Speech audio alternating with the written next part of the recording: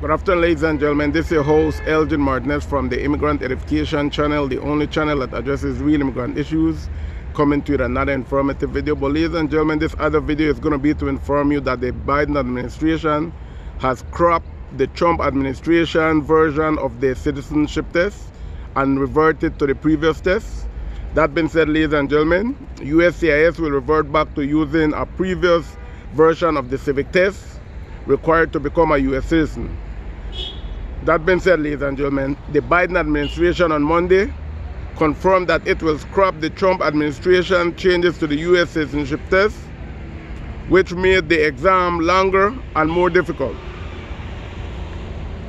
Furthermore, ladies and gentlemen, immigrants must pass an English proficiency test and a civic exam in order to become a U.S. citizen. The Trump administration, ladies and gentlemen, doubled the length of the civic test requiring applicants to answer 12 out of 20 questions correctly to pass. Immigrants were initially required to correctly answer 6 out of 10 total questions, ladies and gentlemen. Furthermore, ladies and gentlemen, the Trump administration also increased the number of questions from 100 to 128, expanding the amount of information immigrants must study in order to pass the exam.